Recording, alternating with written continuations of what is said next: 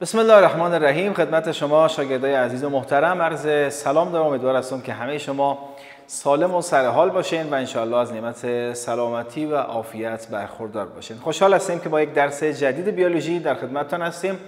از بیولوژی سنف هفتم هنوز در فصل اولش هستیم و درس سومش خدمتتان ارائه میتیم که صحبت ما در رابطه با حجره هست و رسیدیم به دو اصطلاح پروکاریوت و یوکاریوت گفتیم پروکاری کلمه پرو به معنای ابتدایی هست. پروکاریوت به معنای موجودات زنده ای که حجرات ابتدایی دارند. یعنی هسته حقیقی ندارند.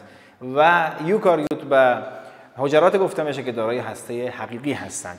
خب میایم به سراغ هسته که البته هسته رو بر شما معرفی کرده بودیم. هسته بزرگترین ارگانیل و مهمترین ارگانیل داخل سایتوپلازم در حجرات محسوب میشه هسته در حقیقت مرکز کنترل و هماهنگی تمام فعالیت های حجروی هست و این هسته یک غشای هستوی داره که اطرافش احاطه کرده و غشای هستوی معمولا دارای بعضی از منفذها هست که این منفذها راه عبور و مرور بعضی از مواد هست. اما داخل هسته چی قرار داره؟ هسته گفتیم یک غشا داره که در داخلش محتویات هستوی هست. در داخل هسته در حقیقت رشته های بسیار نازکی هست به نام کروماتین.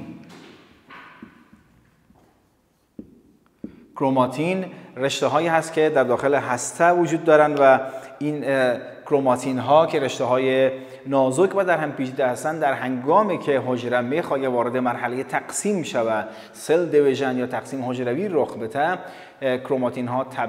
اینا زخیم میشن و کوتاه میشن و تبدیل میشن به کروموزوم ها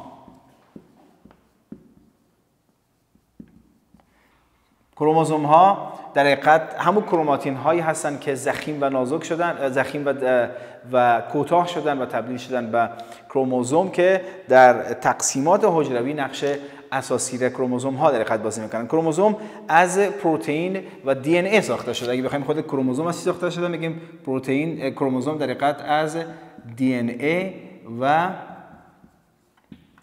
پروتئین ساخته شده. این کروموزوم ها در حقیقت اگر یک کروموزوم را موازش بکنیم اگر این را یک ساختمان کروموزوم در نظر بگیرین که در سنترومر به هم دیگه وصل هستن اگر یک کروموزوم ما کوتاه بکنیم در حقیقت می‌بینیم که از رشته دی ان ای ساخته شده یعنی اصل کروموزوم از دی ای ساخته شده و همچنین پروتئین هایی که در ساختارش وجود دارند خب فعالیت های حجره را عرض کردیم که همین کروموزوم ها هستن که در داخل هسته کنترل می‌کنن و دی ای در حقیقت مالیکول های طویلی هستند که باعث انتقال صفات ارسی میشن. دی ای در حقیقت ماده ارسی در حجرات محسوب میشن مواد ارسی هستند خب میایم به سراغ معرفی بعضی از ارگانیل های دیگر که در داخل سایتوپلازم موقعیت دارن. گفتیم برای شما که در داخل سایتوپلازم ارگانیل ها وجود دارن یا عضوچه ها هستن. ارگانیل ها متعدد هستند بعضی از مهمترین هایش برای شما معرفی می‌کنیم. یکی از ارگانیل های بسیار مهم مایتوکاندریا هست. مایتوکاندریا در حقیقت یک ارگانیل مهمی هست که در داخل این مایتوکاندریا تنفس حجروی انجام میشه تنفس حجروی باعث میشه که انرژی حاصل بشه. پس می‌تونیم بگیم مایتوکاندریا ها در حقیقت چی هستن شاگرد عزیز؟ در حقیقت محل تولید انرژی هستند. نیروگاه حجره هستند. در مایتوکاندریا تولید انرژی انرژی حجروی صورت می‌گیره در اصل عملیه تنفس حجروی. خب عضوچه دیگه به نام واکیول داریم که واکیول ها در حجرات مواد واکیول ها هستن که بیشتر ذخیره مواد را بر عهده دارند مواد مختلف می‌تونه در واکیول ها ذخیره شود و مثلا مواد فاضله یا مواد اطراحی که در حجرات در اثر متابولیسم حجروی ساخته میشن اینها موقتا در داخل واکیول ها ذخیره میشن و به شکل مایع در اونجا قرار می‌گیرن تا بعدا بتونن از حجره خارج بشن. بخش دیگه از ارگانیل های سایتوپلازم شبکه ای هست به نام اندوپلازمیک ریتیکولم. endoplasmic reticulum. endoplasmic reticulum یک شبکه هست در داخل حجرات که معمولا در نزدیکی هسته می‌تونه باشه. و ساختمان های tube مانندی هستند که مواد که مواد را به قسمت های مختلف حجره و همچنین خارج از حجره می‌تونن که انتقال بدن centriole یک عضوچه دیگه هست که براتون معرفی می‌کنیم.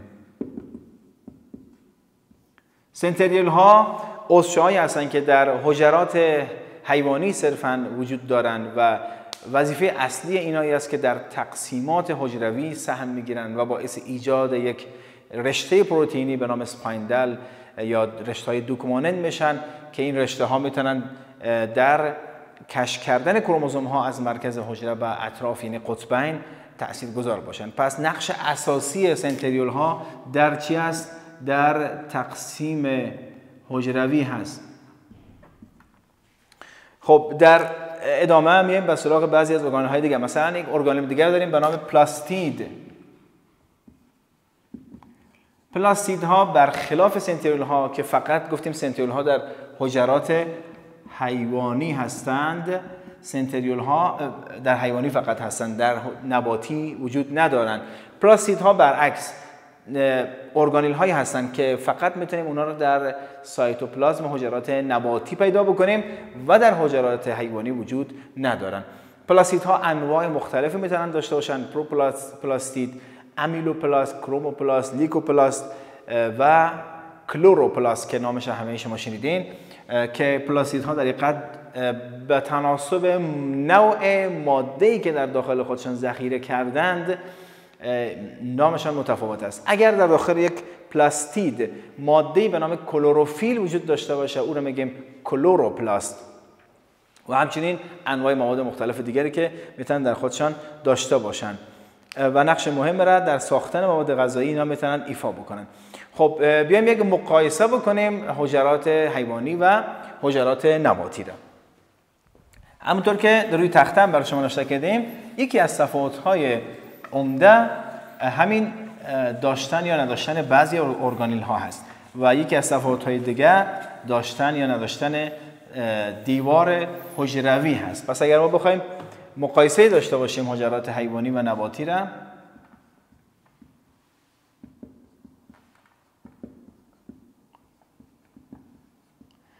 این بخش را باید بگیم. اولین مقایسهشان در رابطه با دیوار حجروی هست.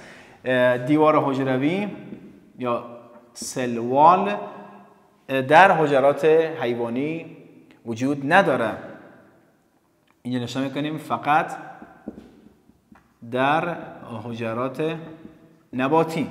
به معنای ای که در حجرات حیوانی چیزی به نام سلوال ما نداریم. خب بحث دیگه جسامت واکیول ها در حجرات حیوانی است. خب البته این اول سنتریول ها رو بگیم. مثلا سنتریول نشان کنیم. فقط در حجرات حیوانی. سنتریول ها فقط در حجرات حیوانی هستند و در حجرات نباتی وجود ندارند پلاستید ها پلاستید فقط در حجرات نباتی هستند و در حجرات حیوانی پلاستید ها وجود ندارند یک تفاوت دیگری هم که در کتاب ذکر شده تفاوت در اندازه سایز واکیول ها هست که واکیول ها معمولا در حجرات نباتی بزرگ هستند و موقعیت مرکزی دارن و تعدادشان کم هست. اما واکیول در حجرات حیوانی کوچک هستند تعدادشان بیشتر هست و معمولا موقعیت مرکزی هم می‌تونن که نداشته باشند خب اینا مواردی بود که در رابطه با حجره برای شما عزیزان تشریح کردیم و مقایسه کردیم بین ارگانیل هایی که در بعضی در حجرات نباتی مثلا هستن یا در نباتی نیستن. بیم به سراغ فصل بعدی کتاب شما که فصل دوم هست و در رابطه با تنظیم سطح یا سطح تنظیم یا سطوح حیاتی بحث شده.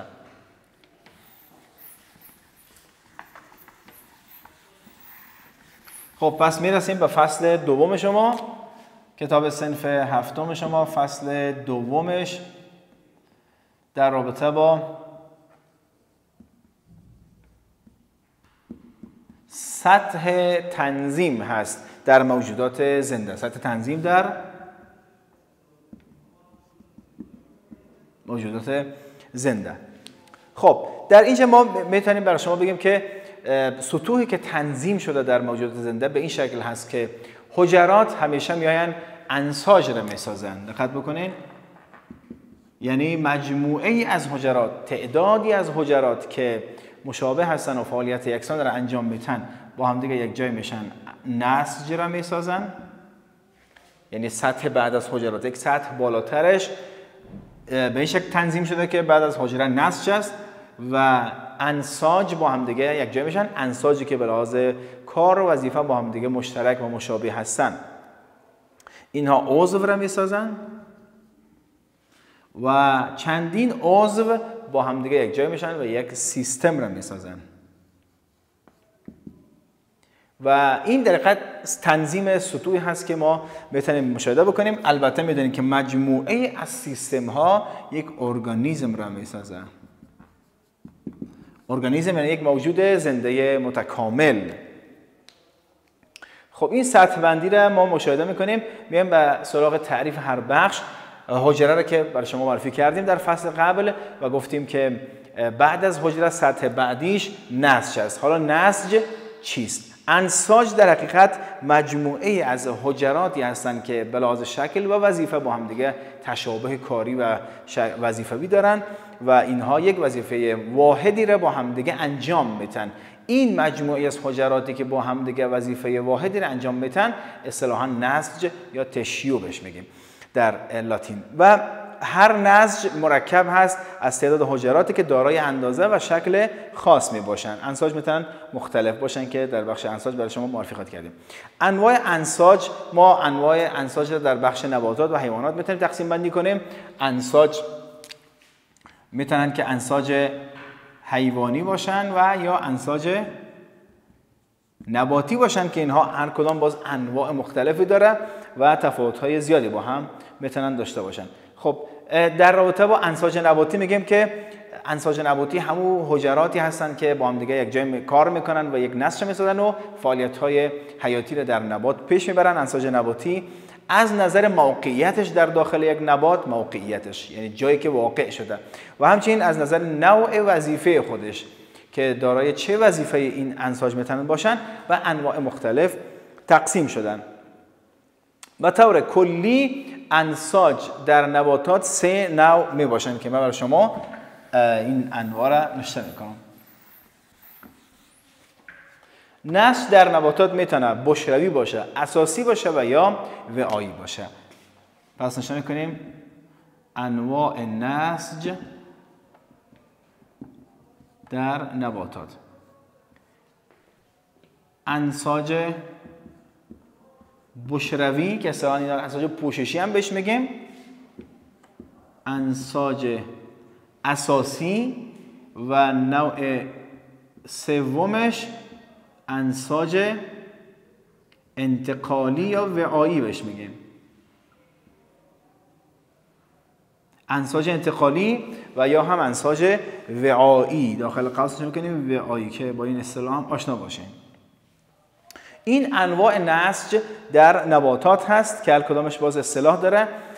اپیتلیال تشیو و بعد انساج گراوند تشیو و همچنین از کنیم که واسکولار تشیو یا انساج انتقالی که هر کدام کار خاص خودن انجام میتن نسج بشروی که اصطلاحا اپیدرمس هم بهش میگیم. نام دیگهش اپیدرمس هست. اپیدرمس اپیدرمس یا نسج بشروی این نوع از انساج نباتی هستند که اینها معمولا در سطح خارجی نبات واقع شدن. مثل کجا؟ مثل سطح خارجی برگ ها از نسج بشروی ساخته شده و همچنین ساقه ها که اینها خارجی هستند.